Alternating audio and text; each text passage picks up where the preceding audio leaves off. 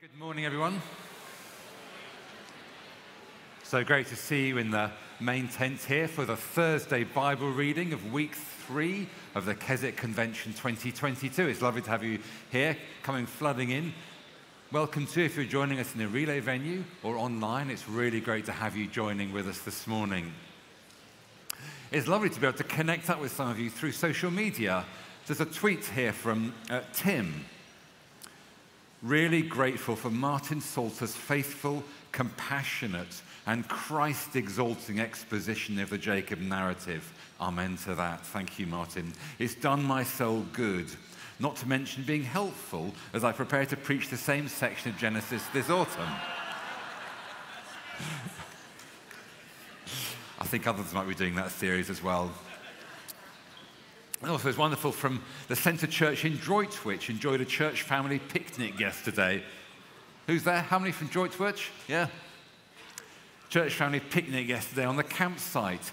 And one of the great things about the convention, I know there's a number of pe- people, pastors and others, come as a church group that's here. And it's a great idea if you obviously if you're here, but also if you're joining online.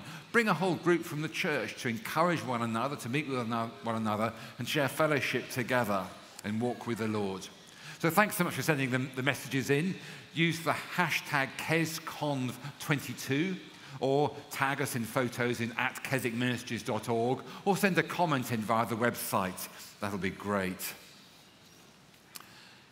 Let's just still our hearts ready for a moment as we come to the Lord in prayer at the start of our time. Let's pray together.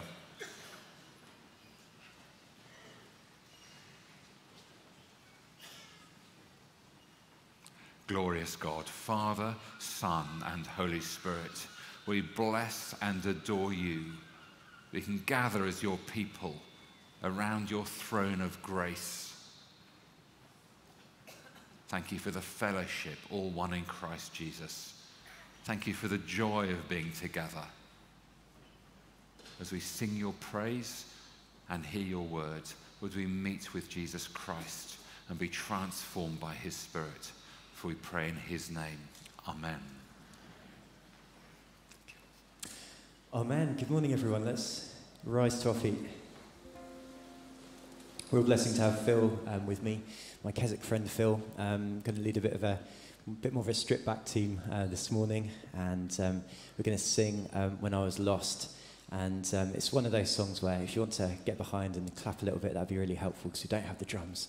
So um, if you want to get your hands ready, that would be, uh, that'd be great. Let's, let's praise God together.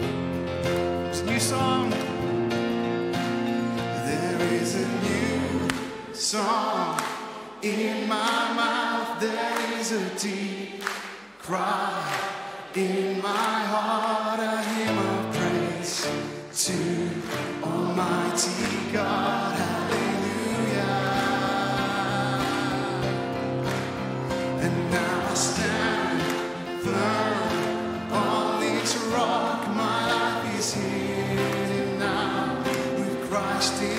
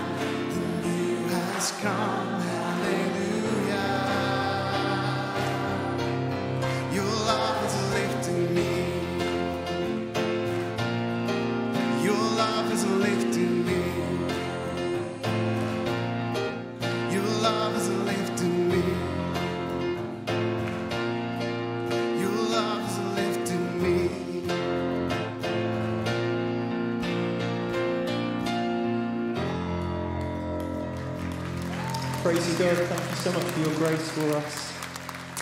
In your name we pray. Amen. Amen.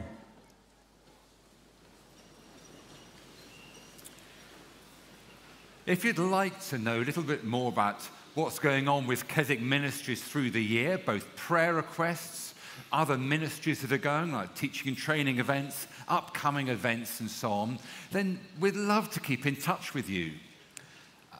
The newsletters come out about every six weeks, so it won't be clogging your inbox, but it's full of all those kinds of things. And if you'd like to sign up, we'd love to be in, link up with you through the year, especially for things like kids' registration and news of those kinds of things, and, and when volunteer teams are open. So if you'd like to sign up, the way to do that is to go to the Convention 2022 page on the, um, on the website, and then you can see down there, you click down on the right hand side information point on Stay in Touch, and you can sign up there for the newsletter there. It'd be great to continue to value your prayers through the year for the ministry, and it's lovely to keep in touch with that. I'm going to hand over to Steve now. Thank you. Well, good morning. It's a great thrill to see the tent so well filled and also to hear your voices raised in praise. And, to know that other people are joining from the various relay venues and also engaging with the convention on the live streaming uh, as well. That's a huge thrill. We weren't sure uh, how many people would come to this convention uh, in the year after COVID, and with COVID still uh, at fairly high levels. So it's a real encouragement to us uh, that so many people uh, have come. And it's great to be together again physically after two years of being apart and to have a full programme of events on during this convention. Again, hugely encouraging. Now, you will know that this convention is fairly unique among similar Christian events in that we don't charge for the event. All are welcome to it to come irrespective of their ability to pay. And that's a very important part of our DNA, which we want to uh, continue. I remember when I was uh, first treasurer, uh, we appointed some management consultants to help us on the Derwent project. And one of them took me to one side and said, Steve, your business model is fundamentally flawed in that you make no charge for the event. And I said to him, I said, let me tell you about this business model because God has seen fit uh, to bless this event over at that time 140 years, now 147 years. And every year that I've been treasurer, the income has always covered the costs. God has been so faithful through the generosity of his people. But there is a cost, of course, to putting on a convention uh, like this. And it's around £800,000. That's before you add in salary costs. Now, this, just to give you an idea of some of the main parts of that cost, we spend around £250,000 on technical support. We have a wonderful team of, of technical people supporting not just the main tent, but also the relay venues, the children and youth work, the seminars, and, all, and other events as well. And that costs about £250,000. We have a wonderful army of volunteers helping uh, the convention, about 650 across the three weeks of the convention. And they all need to be accommodated and they need to be fed. And that's broadly another £250,000. And then, of course, there's the hire of this marquee and the youth marquee as well, and that's about £100,000. We reckon that equates to about £120 for every adult attending one week of the convention. And of course, if people gifted on top of that, that is even better. We understand that some can't afford that, and you're still welcome. Others give very generously to enable those who can't afford it uh, to come and to enable the books to balance. And we're very grateful for that as well. Now, because of the pandemic and the rising cost of living, our donations this year have been a little bit down. And so we come into the convention more than £50,000 behind where we hoped we would be in terms of donations. And we're also well down on the Derwent funding as well. And so our ask is that however you're accessing this convention, whether here in the main tent, in some of the relay, venues, or on the live stream, that you would give very careful consideration and prayerful consideration as to how you might be able to help us uh, move forward financially and support the work. To ensure that this unique event, with its very countercultural business model, continues to grow and to flourish. God has blessed this ministry over 147 years through the generosity of his people. And we are confident that God will continue to bless uh, this work. And so we're so thankful to all of you for all your help and your financial support. Thank you, and God bless.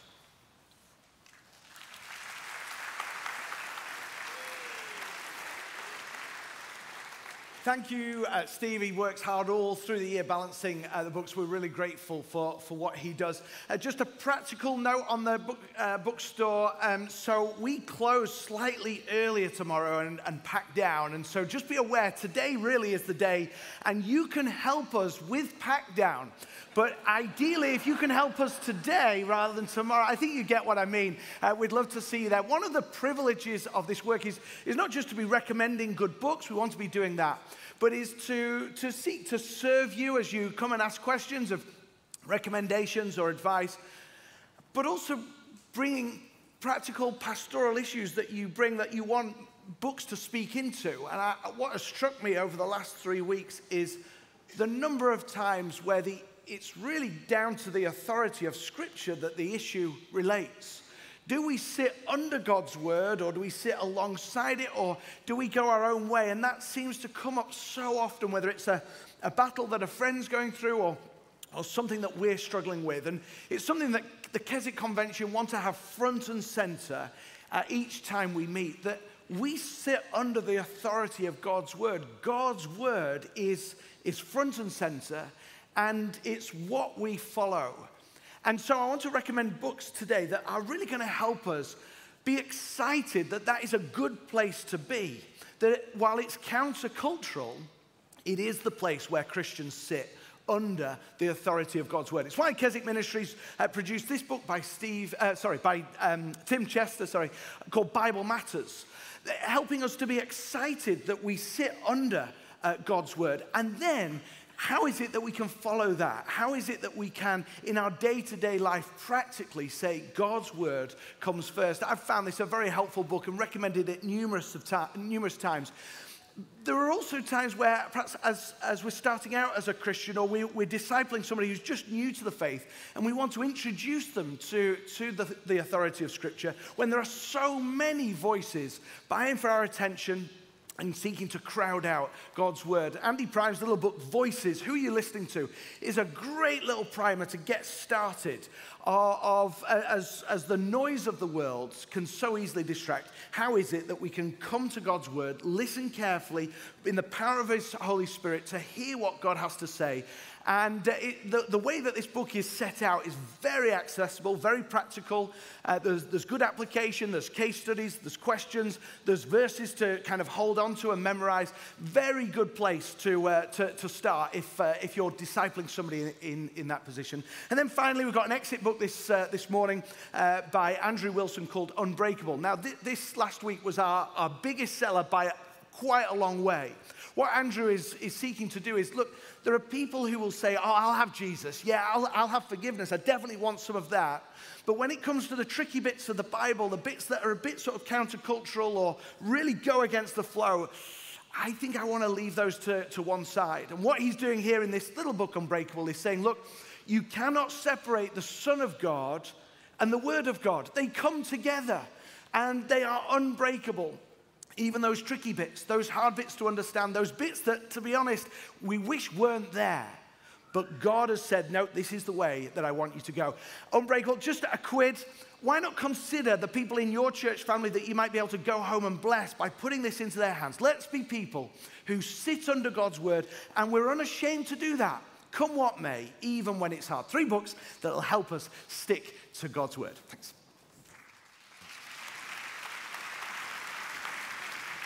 Thanks, Jonathan, very much. We're about to come to hear God's word read and then preached by Martin. Delighted to welcome as our reader Nick, Nick Murray here. Do come up here. So, Nick's come to one of the teaching and training events we run through the years. It's the Bible Workshop, 24 hour workshop. We were looking at the books of Job and Ecclesiastes with Jamie Grant. So, Nick, tell us about yourself. What do you do? Uh, so, I'm a curate in the Church of England. I live in Harrogate and work in two churches just outside of Harrogate in Pannal and Beckwithshaw. Okay, so Puritan Church of England, and you came to the Bible workshop on Job and Ecclesiastes. Yeah. Tell us, why did you come? How did it help you? So I, I think, I, I, mean, I signed. I think I was one of the first people to sign up for this uh, just after the last Keswick convention, and I didn't. You know, there's no way that I could have envisaged what was going to happen in my life over the next. And I came to, you know, how sometimes 24 hours. Surely God can't do too much in 24 hours, can He? But the, the, the, the thing is, as, we, as I came, I had no idea how, how my life was going to be over the period from Keswick to then. And uh, then to hear God speaking to Job, that moment where he speaks in the storm and through the storm, and maybe is the storm, and saying, I think I can trust this God again um, with all that's going on. That was, Wow. yeah, it's really good. Thank you. so, yeah. Thank you. Bless you, Nick. Thank you. Yeah. It'd be lovely to pray for Nick as he reads and for Martin as he preaches, remembering God's word is powerful to speak into our lives wherever we are. Loving God and Father, thank you for the way you blessed Nick through that course. Thank you for him as he reads your word and for Martin as he preaches. Lord, we would see Jesus. By your Holy Spirit, meet with us, we pray, and bring change in Jesus' name. Amen. Thanks. Thank you. And I think the Bible workshops have Ros Clarke speaking to us on Song of Solomon's this year. That's going to be a treat. Do come, bring your wife. Uh, it's going to be a good one. The Bible reading this morning comes to us from Genesis chapter 32. And we're reading from verse 22 to 31. Genesis 32, verses 22 to 31. That night, God got up, uh, sorry, that night Jacob got up and took his two wives, his two female servant, his two male servants, and his 11 sons, and crossed the ford at Jabbok. After he had sent them across the stream, he sent over all his possessions. So Jacob was left alone. And a man wrestled with him till daybreak. When the man saw he could not overcome him, he touched the socket of Jacob's hip, so that his hip was was wrenched as he wrestled with the man. Then the man said, Let me go, for it is daybreak. But Jacob replied, I will not let you go unless you bless me. The man asked him, What is your name? Jacob, he answered. Then the man said, Your name will no longer be Jacob, but Israel, because you have struggled with God and with humans and have overcome. Jacob said, Please tell me your name. But he replied, Why do you ask me my name? Then he blessed him there. So Jacob called the place Peniel, saying, It is because I saw God face to face, and yet my life was spared. The sun rose above him as he passed Peniel, and he was limping because of his hip. This is the word of the Lord. Thanks be to God. Well, thanks very much indeed, Nick. And uh, good morning again, everybody. Lovely to see you, as always. If you can have a Bible open in front of you, uh, that's going to help you and me. Uh, we're doing something a little bit more ambitious this morning than what was read. We're- I'm actually hoping I'm going to walk you all the way through chapters 32 and 33 uh, in their entirety. Um, uh, because they really belong together. So if you can see that in, in a Bible, um, that is going to be helpful to us. And uh, as we begin, I want to remind you of um, that famous speech, uh, June the 4th, 1940, and Winston Churchill stood up in the House of Commons uh, and gave that very famous address. And at the end of it, it had those, those kind of immortal lines, didn't it, where he said, uh, We shall not flag or fail. We shall go on to the end. We shall fight on the beaches. We shall fight on the landing grounds. We shall fight in the fields and in the streets. We shall fight in the hills. We shall never surrender. And um, while that, that speech sort of it, it, it captured the hearts and minds and, and sort of the feelings of, of, of Britain in wartime, if I may be a little bit controversial, I want to suggest it's perhaps the absolute antithesis to the call of the gospel. Remember, the Bible describes us as by nature enemies of God. And the way we get his blessing is, is not by kind of trying to climb up, and it's, it's not by fighting against God until we win. Actually, no, the gospel message is we must surrender. That's really what we're going to see as we look at this, this weird encounter.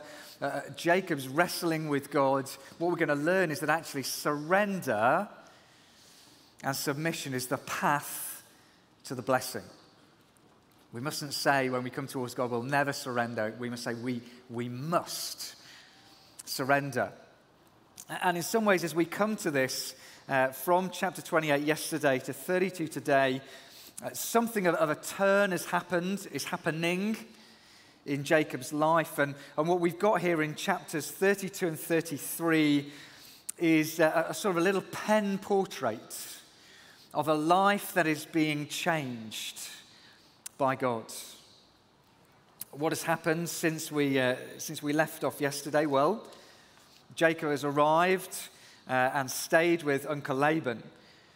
And, uh, and actually, the period in between chapters 28 and 32 is somewhere around about 20 years. And those haven't been easy. There's been points where it seems Jacob has had meetings with God, God has spoken to him. And his life is turning, but it hasn't been easy.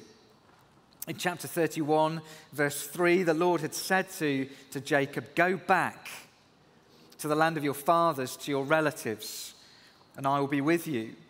The same command comes as, uh, as, God appears a bit later in that same chapter, verse 13. I am the God of Bethel, where you anointed a pillar, where you made a vow to me. Now leave this land at once and go back to your native land. And really, that is, that is what he's, he's doing. He's taking his family, he is leaving Laban, he's, he's leaving the old life, he's leaving sort of the darkness, and he's going back. He's going back to the land as God has commanded him to do. And as he does this, we're going to see uh, kind of five headings, five uh, parts to these chapters. And, uh, and as we begin, the first thing we see is this uh, Jacob seeks reconciliation. That's our, our, first heading this morning, is that Jacob seeks reconciliation with um, Esau. So in chapter 32, beginning at verse 1, we see this Jacob also went on his way. And the angels of God met him. And, and when Jacob saw them, he said, This is the camp of God. So he named that place uh, Mahanaim. Jacob sent messengers ahead of him to his brother Esau in the land of Seir, the country of Edom. He instructed them, This is what you are to say to my lord Esau. Your servant Jacob says, I've been staying with Laban and have remained there till now. I have cattle and donkeys, sheep and goats, male and female servants. Now I'm sending this message to my Lord that I may find favor in your eyes. You see what Jacob is doing? As he, as he kind of sets out, as, as this turn is happening in his life and he's, he's setting out back to the homeland, there's something he needs to do. There's, there's a pit stop that he just has to make before he can travel on, before he can dwell in peace and safety. Some of you know, don't you, if you're, if you're parents of young children, you know about the idea of kind of the vital pit stop. Maybe as you're making your way back down at the M6 on Saturday, and you know, if you've got little ones, don't you, that there'll come a point in that journey where they'll say, I need the loo. And you know at that moment you've got, you've got probably minutes minutes to hope that you pass a service station and you, and you pull in and you get out of time and you, you do the necessary and you, you make that vital pit stop. This is Jacob's vital pit stop. He wants to return home. He wants to obey God's voice, but he knows there's this problem with Esau still, doesn't he? Remember how we left things? The end of chapter 27, Esau was breathing out murderous threats. He was saying, I'm waiting till the, day when my dad dies, uh, and then I'm going to kill Jacob. And so Jacob knows if he's ever to really find peace, if he's ever to really come home, he's got to make things right. He's got to seek this, this reconciliation of this fractured relationship. In some ways, that's, um, that's a key part of, of the Christian life, isn't it? It's recognizing that actually when we, when we become Christians, it's not just that we get a relationship mended in sort of the vertical, but it means our relationships are affected too in the, the horizontal, doesn't it? What's the greatest commandment? Somebody once asked Jesus, you know, what's the greatest commandment? Love the Lord your God with all your heart, soul, mind, and strength, and love your neighbor as yourself.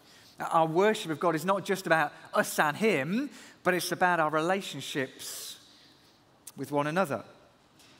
Jesus said this, didn't he, in the Sermon on the Mount, Matthew 5, verse 23. Jesus says that if you are offering your gift at the altar and remember that your brother or sister has something against you, leave your gift there in front of the altar. First, go and be reconciled.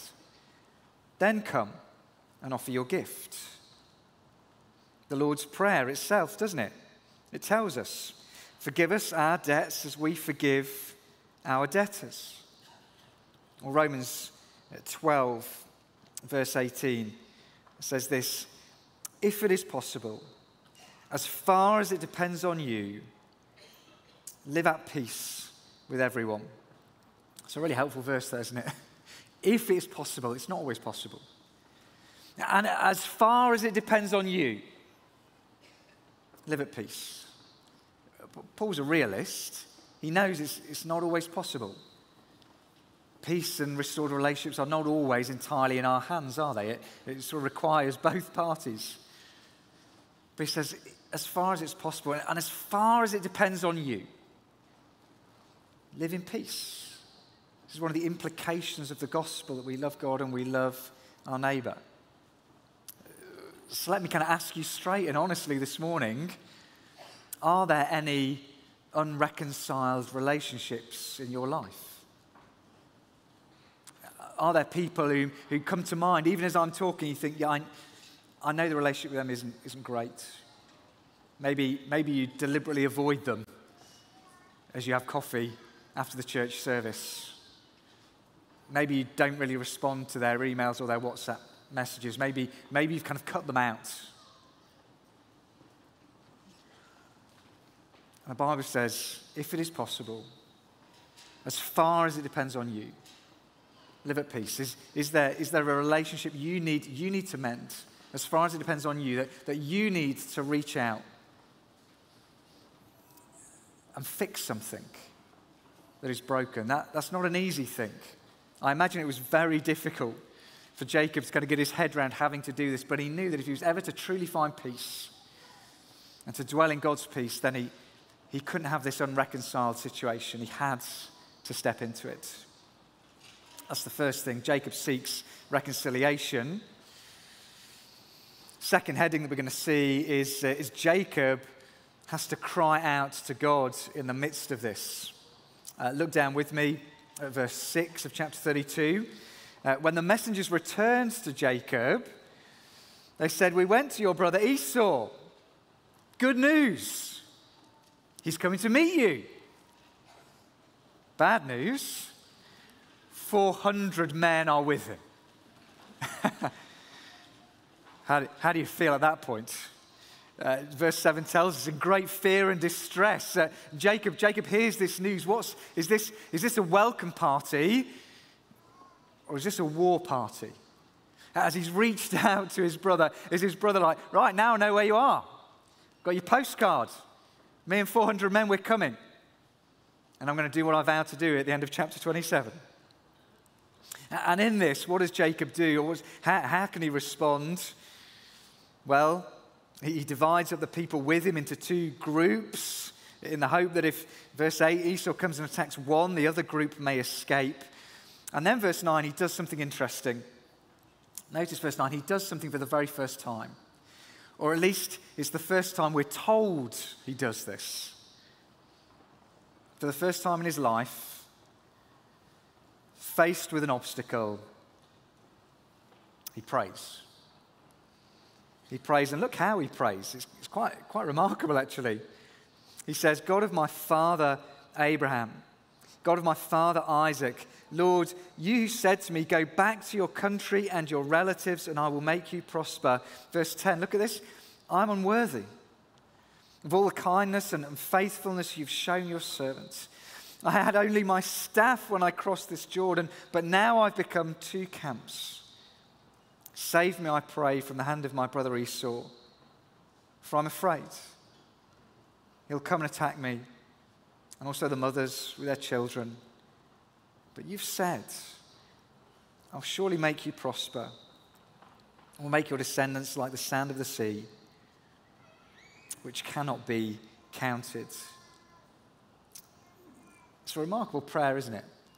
He, Jacob, with, with everything that's gone before, he's, to, he's reached this point where, where his, his prayer is so it's an appeal to the character of God and the promise of God. He says, You're the God of my father, the God of Abraham, the, the God of Isaac. You're the God who promised that he'd make us uh, as numerous as the sand of the seashore. You're the God that promised you'd be with us. I, I'm appealing to you, God. I'm appealing on the basis of who you are, and I'm appealing on the basis of, of kind of me. I, I'm unworthy. I'm unworthy. See what he says? Look, what do I have when I left? I had nothing. I only had my staff. All I had was a stick, and sticks are free. I, had nothing. I'm completely unworthy, and, and you have blessed me. You've, you've, you've, you've poured out abundantly on me, and, and you've given me all these things. And on that basis, please save me. It's a great example to us, isn't it, of, of how to pray. I, I, don't know what your prayer life is like. Mine is a bit like this. Uh, my youngest daughter, uh, Kezia, uh, when she was uh, a toddler, she was out playing in the garden one day and she, she was playing with the toys and she, she picked up one of them. And, uh, and as she picked it up, on it was this kind of this big spider. And then she saw, she saw it, she saw saw the spider and she, she turned around and, and she came running to, towards me, toddling, toddling towards me, going, Help, help, help, help. I thought, my, my prayer life's a bit like that. Is yours? My prayer life can be a, a bit like I, I, I can so easily forget to pray and I can rush into the busyness of the day. And, and when, when, I'm really up against something, then I was, help, help, help, help. And there's nothing wrong with that. There's nothing wrong, is there, with the, the throwing up the arrow prayer right where you are? There's nothing wrong with that. But is that the only way that we pray? Or do we learn to pray a bit more like this? Do we learn to bring a kind of gratitude to God? Do we, do we say, God, you've blessed me so much. You've been so kind. You've poured out so much on me.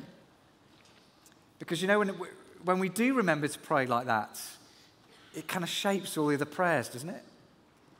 When I begin my prayers with, God, thank you, thank you that I've got a roof over my head.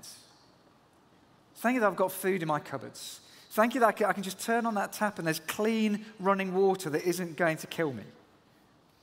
When I thank God, I'm, I'm, unworthy of all of that, and you've given me all of that, it just kind of relativizes all the other things I'm worried about. changes the way I pray, it changes what I pray for. Prayer is essentially the expression of dependence, isn't it, on God's. How do you pray? When do you pray? Do you, do you, need, to, uh, do you need to restart those, those morning prayers? You know, the ones that have just slipped, and, and you get so discouraged, don't you? You feel so bad about it that you, it feels hard to get back on the horse, but just, just start again. Start tomorrow. You think, but I'm not very good at it and I don't pray for very long. It doesn't matter. There's, there's no right or wrong time on it. If, if for you tomorrow's right, I'm going to sit down with a cup of coffee, I'm going to read my Bible, I'm going to pray for two minutes. Start there. Do it a couple of times next week. Start there. It's a great place to start, isn't it? What about your church? Do you have, we've already had prayer meetings mentioned this week. Do you have prayer meetings? Do you have small groups that meet midweek? You might call them home groups or cell groups or whatever you call them. Do you have those? And are they a priority in your, in your schedule? Or are they a bit one of those things you say, look, they're a bit for the keeny beanies, aren't they? And, and, if, if I can find time in the business of the week, and if I get all the emails answered, and if there's nothing else to do, and, and I don't have to go and do the Sainsbury's big shop, then I'll go. Or is it, is it a priority? If you lead those groups, are you teaching people to pray? You know what home groups are like, don't you? As you go around the circle, what can we pray for? Can we just pray for my neighbour's cat? Got a terrible eye infection. It'd be great to pray for that. Are we, are we, are we teaching people to pray like this? Say, God, I'm so unworthy of your kindness, and, and your character and your promises are so good.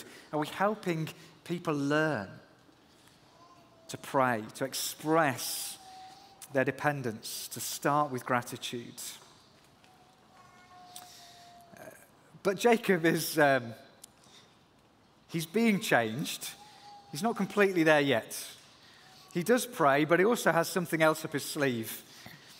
Verse 13, we read, he, uh, he selected a gift for his brother Esau 200 female goats, that's a lot, 20 male goats, 200 ewes, 20 rams, 30 female camels and they're young. I don't even know you, where, you, where you get that many camels or where you keep them, but he's got them. 40 cows, 10 bulls, 20 female donkeys, 10 male donkeys. And then he sends them. He sends them ahead and he instructs the one in the lead when you meet my brother Esau and he asks, Who do you belong to? Where are you going? Then you give them the gift. Here's the gift sent. And he instructed the second and the third, verse 19, all the others. You ought to say the same thing when you meet Esau. And be sure to say, Your servant Jacob is coming behind us. And notice the narrator's comment, verse 20. For he thought, I'll pacify him with these gifts I'm sending on ahead. The word pacify there is it's the little Hebrew words, uh, kippur. And uh, you, may, you may be familiar with that word, kippur, because it's associated with one of the, the big Jewish festivals uh, called Yom Kippur, which means the day of atonement. Very good. What is, what is Jacob trying to do?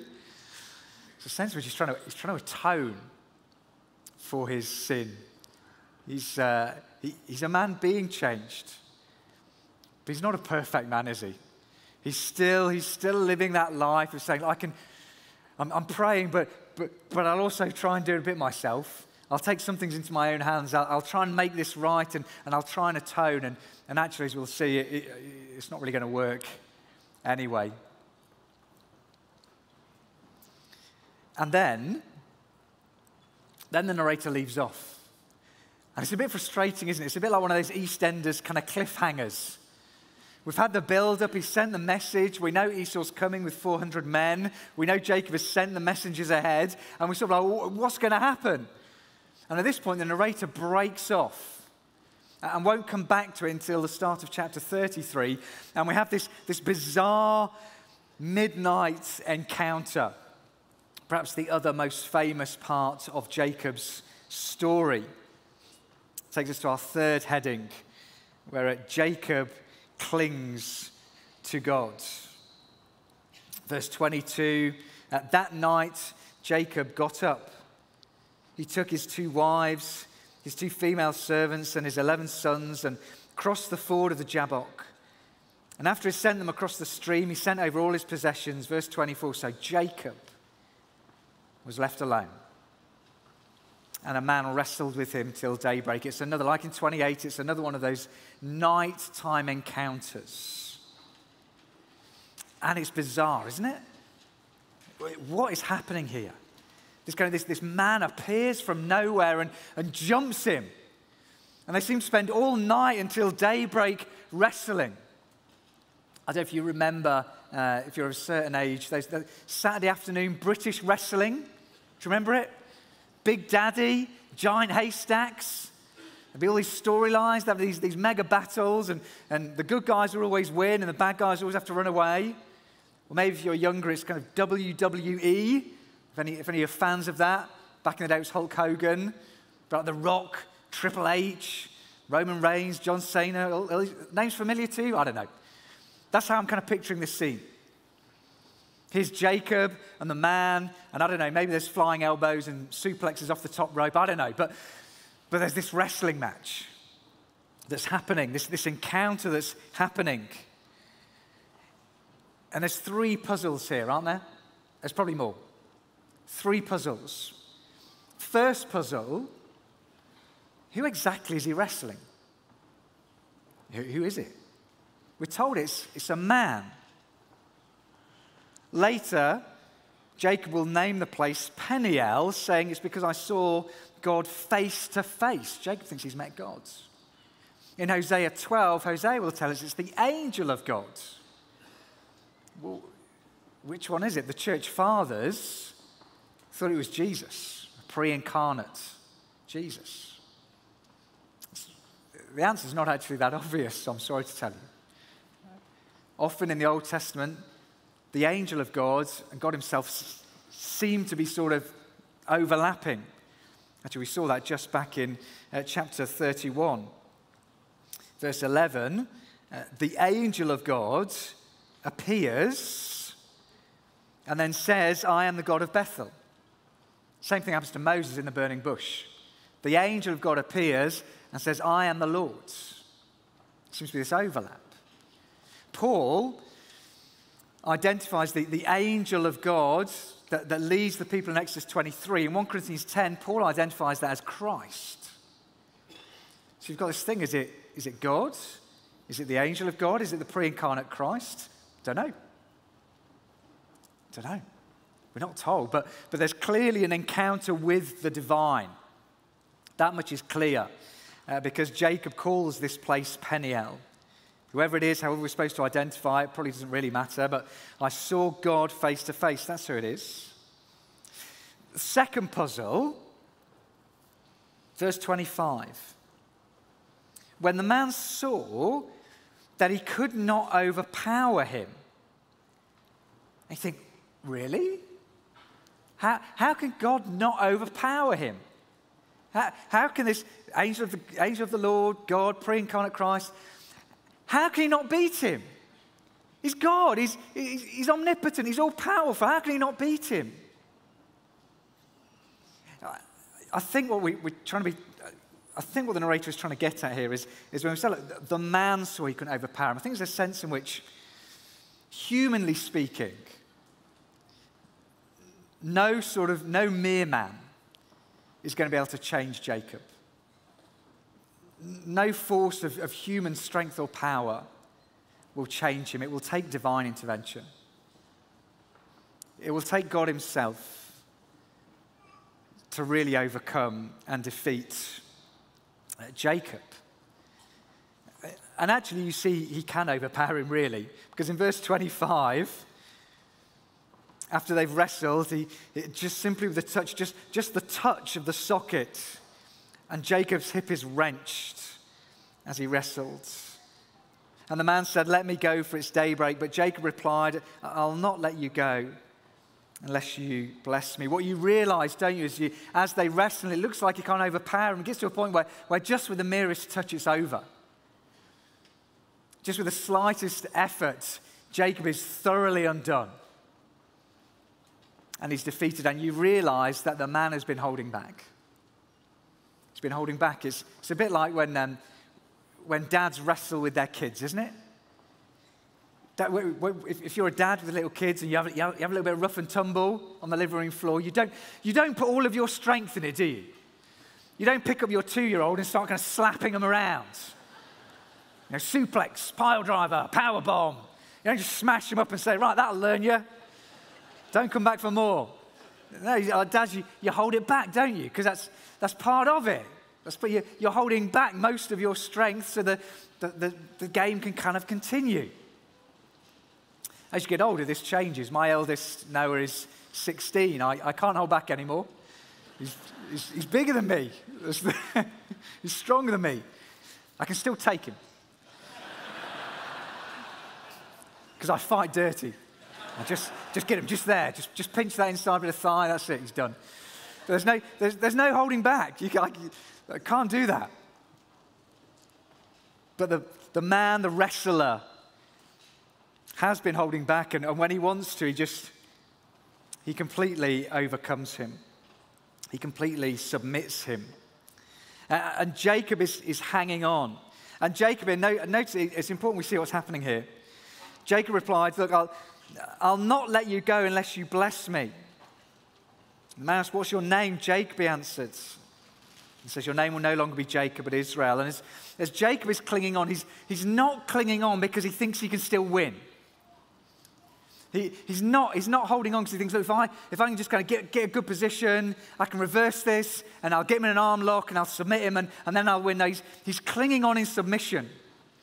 He's clinging on in surrender. He's saying, he's, he knows he's defeated, but he's hanging on and saying, Just bless me. I'm not going to let you go until you bless me. He's not holding on to win, he's holding on in submission, he's holding on in surrender. I don't know if you've seen that, um, that crazy American sport um, bull riding. Seen cowboys do this? Seen this on the telly. It's described as the riskiest eight seconds in sport. And, and the, the aim of what they do is they, they ride on these bulls, and these bulls are kicking them everywhere, trying to throw them off. And, and how do they win? They win by just holding on. They reckon that a Formula One driver in a tight corner experiences about 5G force on their body. A fighter pilot, they reckon in a really tight turn, can, can tolerate up to about 9 or 10 G, but only for a very short period. These bull riders, it's reckoned they can experience forces of up to 26 G as they're being kind of thrown around like rag dolls. They can be knocked unconscious, not by hitting anything, but just simply by the force in which they are thrown around. And how does the bull rider win? He wins by holding on. He doesn't, he doesn't get down off the bull, does he? He doesn't kind of stand in front of the bull and stare him down and say, Right, come on then, son. You and me, let's have it. No, that's, that's, that's crazy. It'd be, it'd be utterly murdered. He just, just clings on. That's all he can do. He clings on. That is what uh, Jacob is doing in this moment. He's learning that submission is the path to blessing, that surrender is the place from where the blessing will come. And then there's the third puzzle. Did you notice this? Verse 27 the man asks him, What is your name? And again, you think, surely he knows.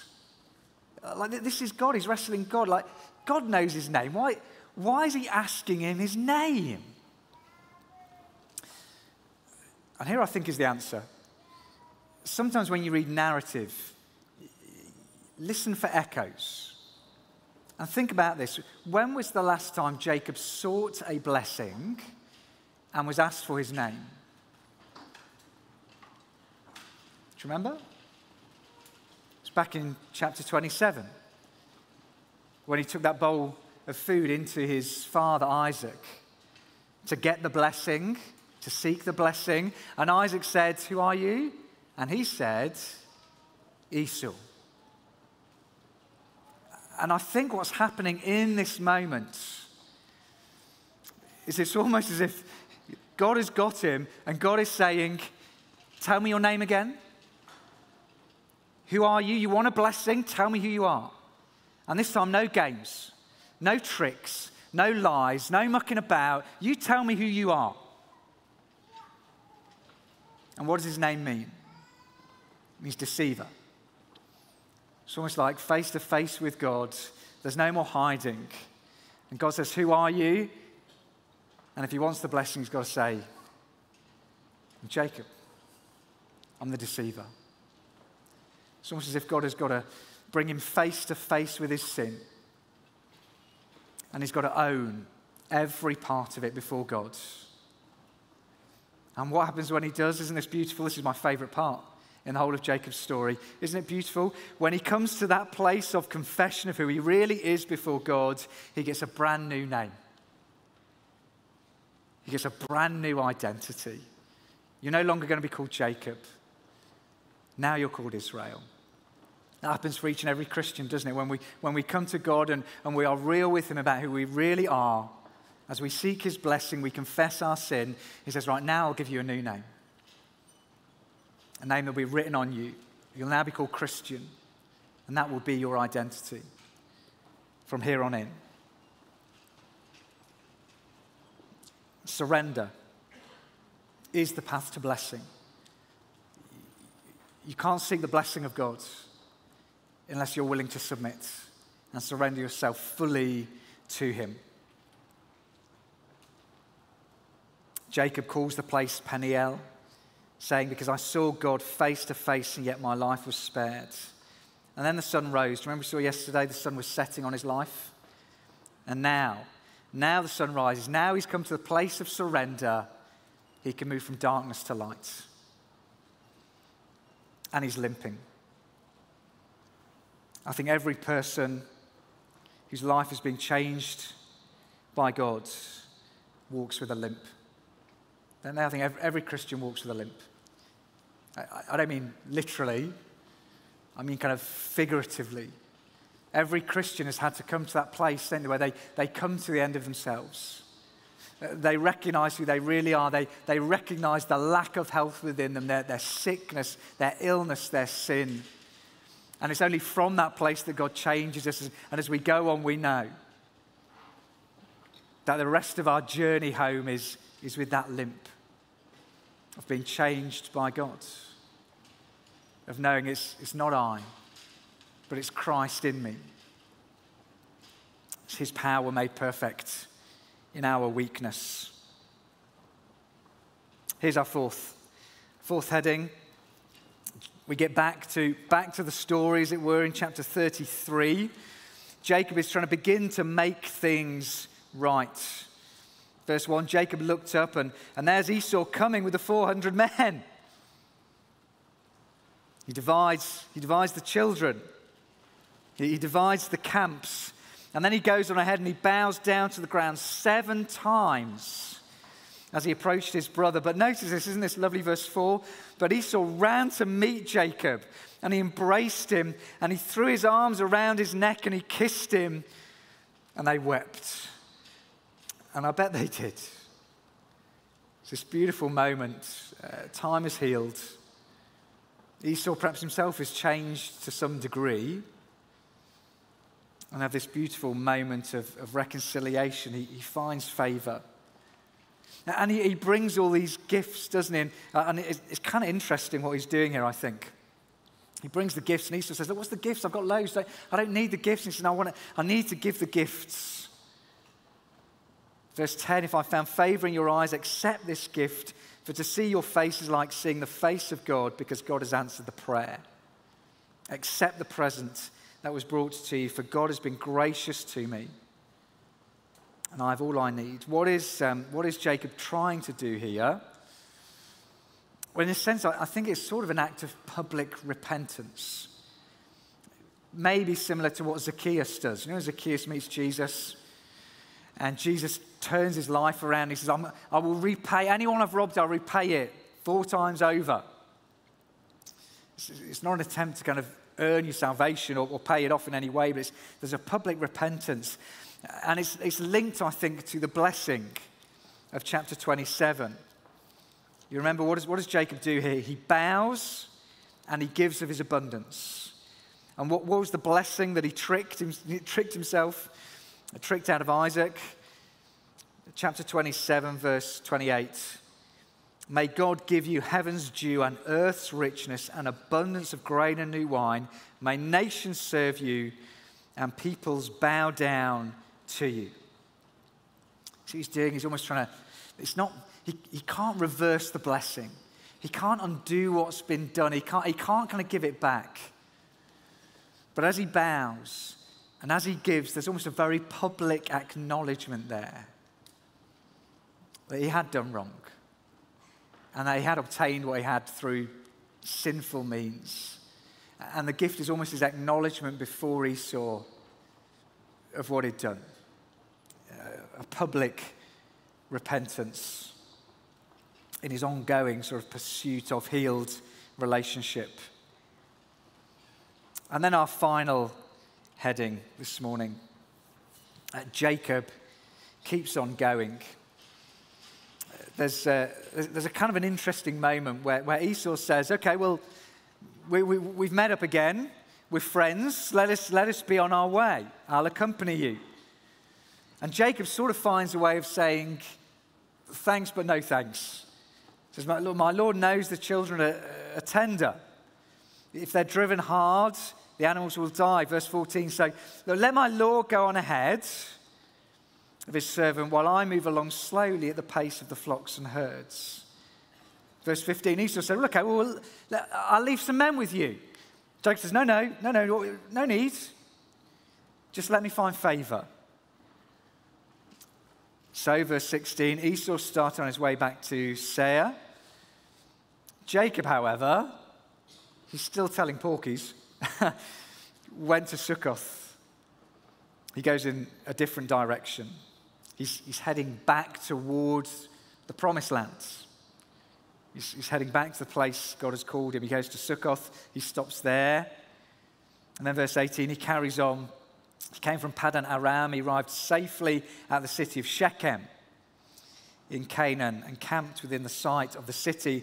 And for a hundred pieces of silver, he brought from the sons of Hamor, the father of Shechem, the plot of ground where he pitched his tent. And there he set up an altar and called it El Elohe Israel. Shechem is uh, it's one of the first places Abraham arrives at. When Abraham is called to follow God and, and he leaves his family, he comes to this, uh, this, this place, Shechem, and there's a sense in which Jacob is kind of retracing the steps. He's, he, he's going back to where he should be going. There's, a, there's a, a determination now within him to try and follow God's call, to, to, to keep going to the place where God has asked him to go. Some of you may have heard of the, um, the film Gone with the Wind, one of the most famous films, I guess, in the last hundred years. And uh, you, you may not know, it started life as a book. And when it was written, its author sent it to all sorts of publishers. And, and every time he sent it, it'd get rejected. Sent it out, get rejected. Sent it, got rejected. Sent it, get rejected. After 38 rejections, the book was finally accepted for publication. Today, it sold something like 30 million copies and won a, a Pulitzer Prize. I imagine for the author to keep going, it required an, a, a huge amount of determination.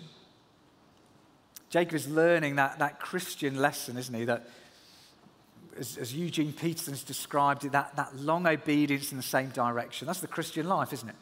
It's a long obedience in the same direction. It's, it's not always mountaintops. Thankfully, it's not always the valley floor. It's often pretty mundane and pretty ordinary.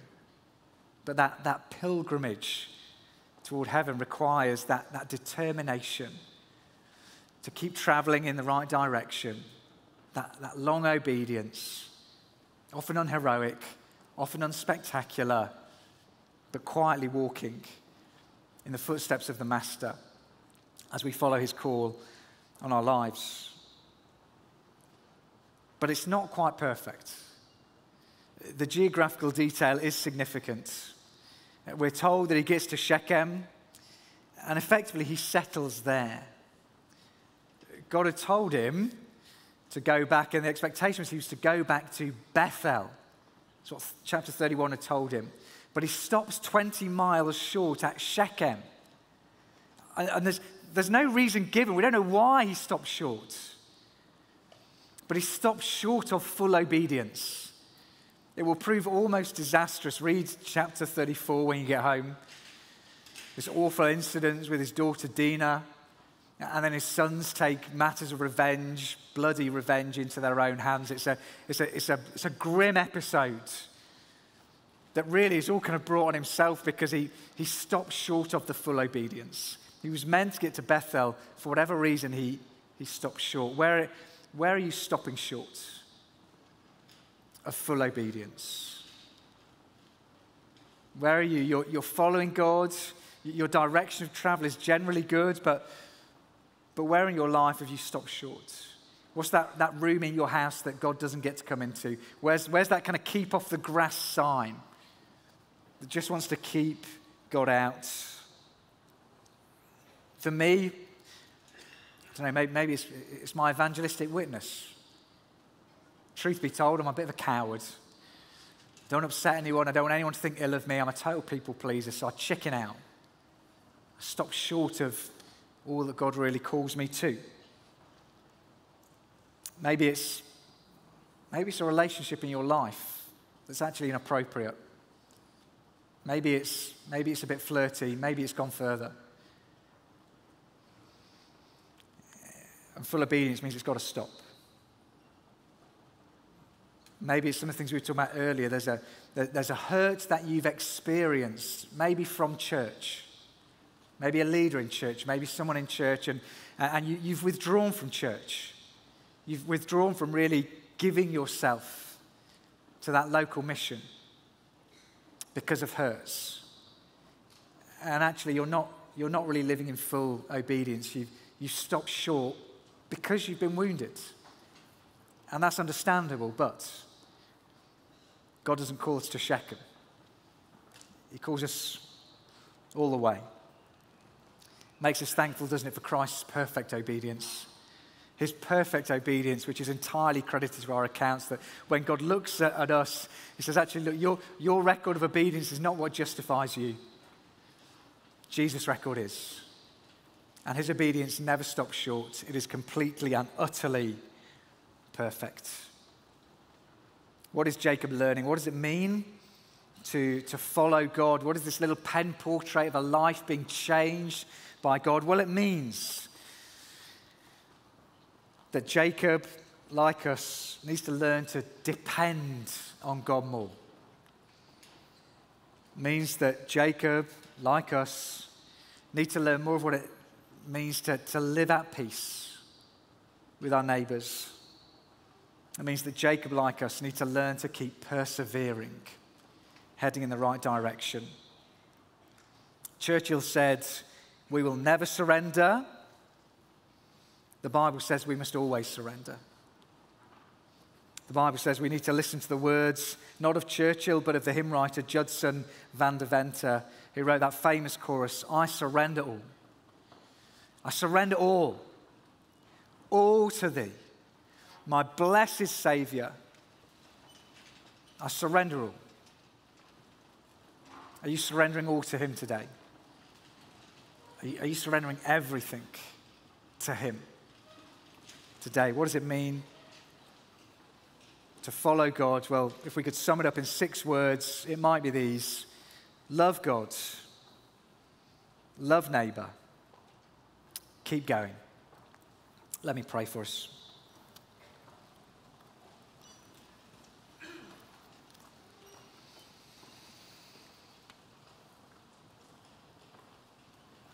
Our Father in heaven, we, um, we read your word and we, we want to be people who surrender to you.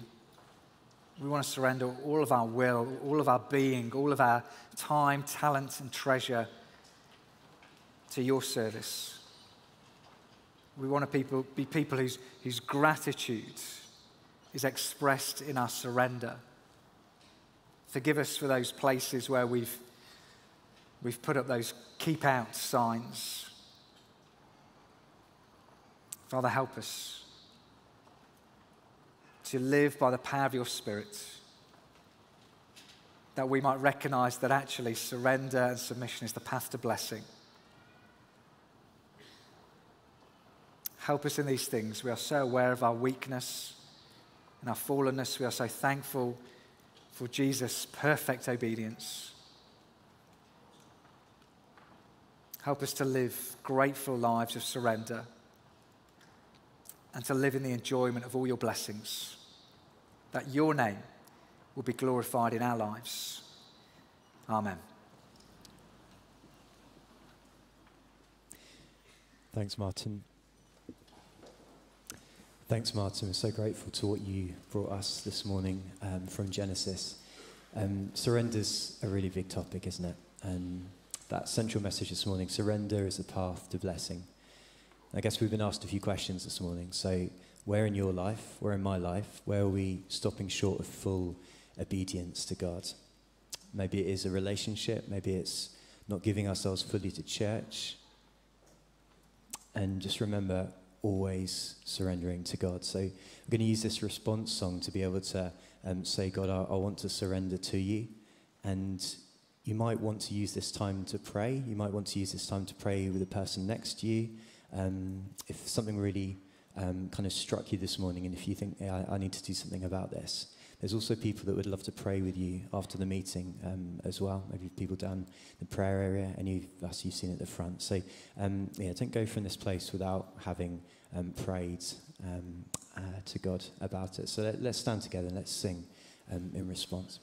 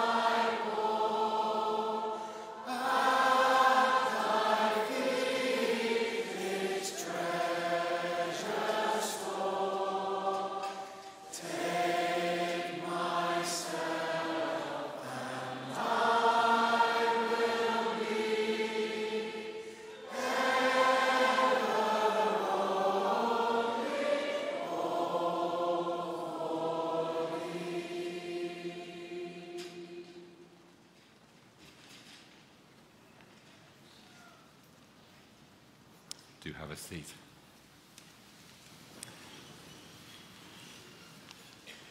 That's the end of our meeting this morning, our Bible reading. It's lovely to finish in that heartfelt prayer. Um, just a couple, a couple of things to say.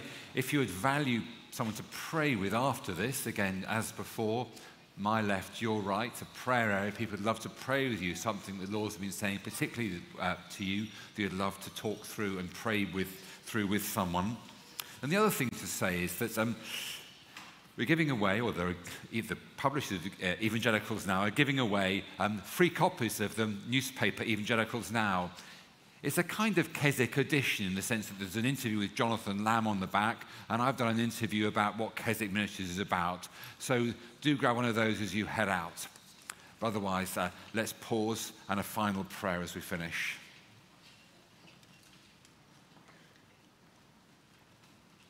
May the grace of our Lord Jesus Christ and the love of God and the fellowship of the Holy Spirit be with us all evermore.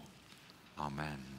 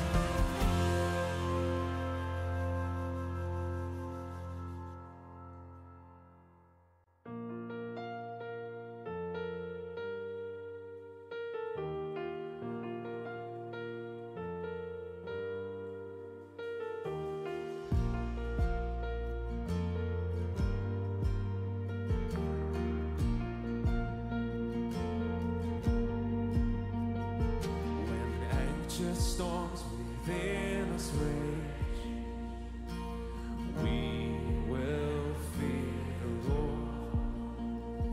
When death, disease, and darkness reign, we will fear the Lord. All things will bow at His command to bring us good from what would harm.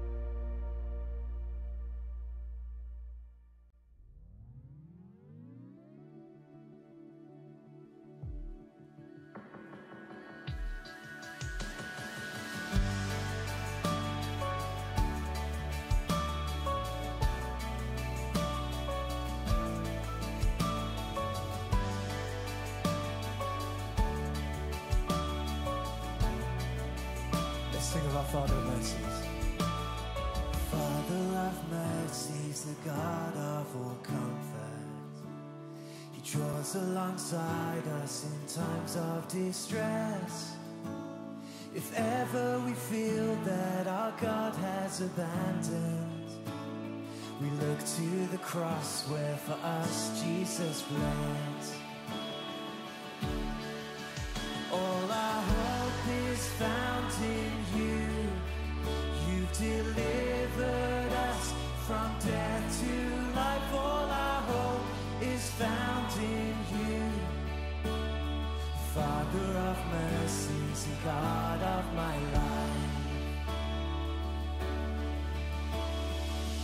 Author of mercies, the wellspring of kindness.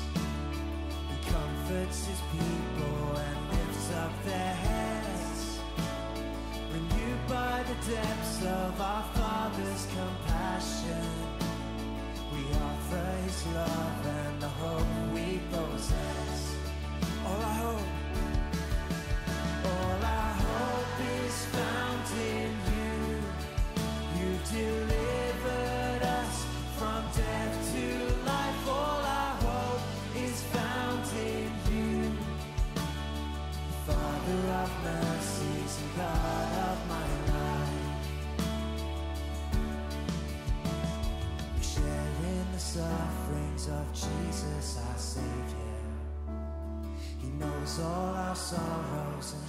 hands are the mess.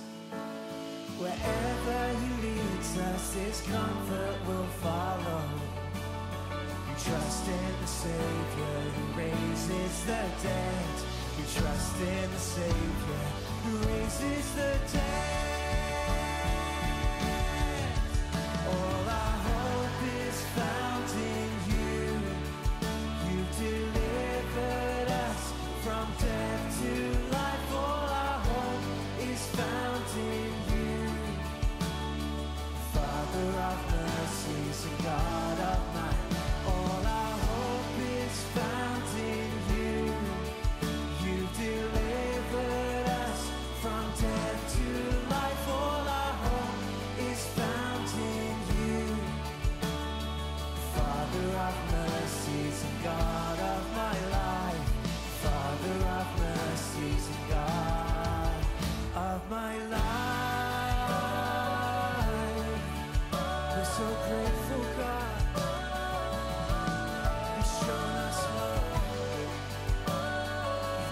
smile.